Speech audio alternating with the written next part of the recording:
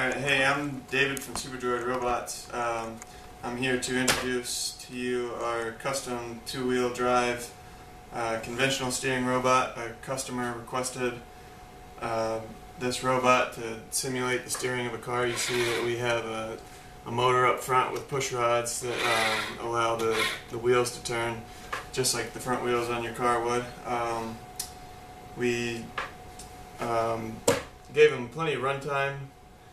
Uh, with we had three 12 volt batteries in here, and we gave them an upper deck um, to mount any sensors, uh, GPS or whatever they wanted to mount up here. Um, and we got an Arduino in the back.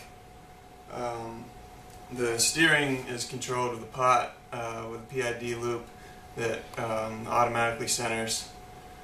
Uh, so when you turn, when you finish your turn, it'll come right back to center for you. So stay tuned for uh, more video of the robot in action. Um, and remember to go to superdroidrobots.com to request your own custom robot. Thanks.